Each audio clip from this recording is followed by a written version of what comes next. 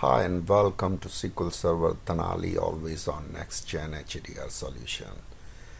I am Prakash and I work for Intuit as Senior Infrastructure Database Administrator. In this set of videos I will talk about what Denali Always On feature is and how to implement a test virtual lab solution. The, here are the set of videos which will configure to implement a test lab using Hyper-V to implement and validate what is availability group, how it works, what failover it allows, and in the end we'll test it with the virtual name.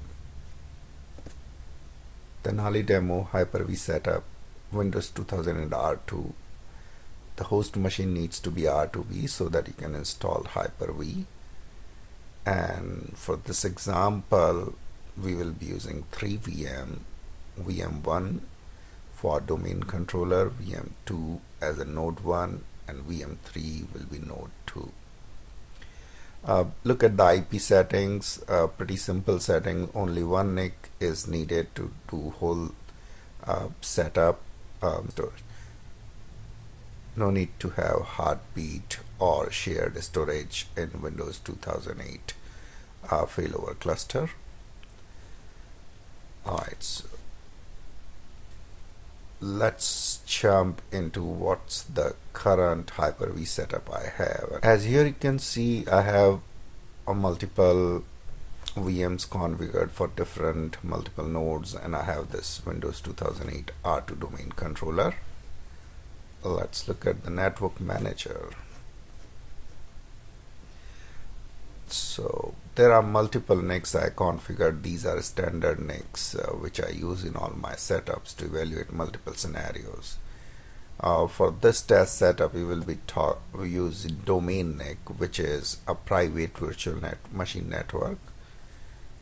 And I'm using wireless Hyper-V uh, Hyper-V NIC uh, this is just uh, internal NIC and I'm using it to share the wireless internet from my laptop.